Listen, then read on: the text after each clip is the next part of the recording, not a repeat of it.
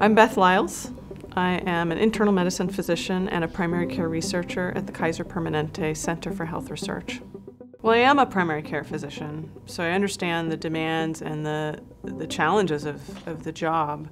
A person comes in, they have the reason that made them schedule the appointment in the first place. It could be that they have a sinus infection or that the person has just fallen and injured her hip or maybe a skin condition. So it's really important that I take the time to diagnose that correctly and counsel the person. But then also, it's really important to pay attention to chronic conditions like diabetes and make sure that's being managed adequately. We always try to take the opportunity to screen and try to prevent diseases like colorectal cancer and breast cancer. So it's a lot to do in a short visit. As a primary care researcher, my focus is on topics that will enable us to be more effective as primary care physicians.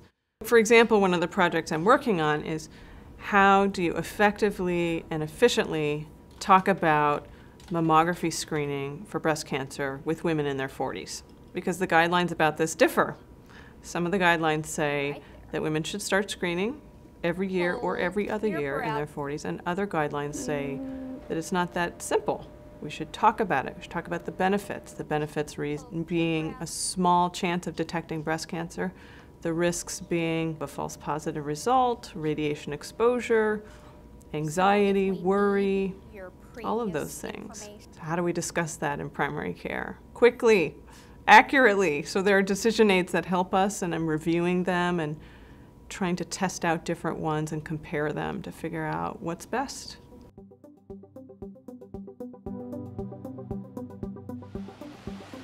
I like to exercise when I'm not working and when I'm not spending time with my family. I swim, I run sometimes, I lift weights quite a bit, and I like to ride a bicycle.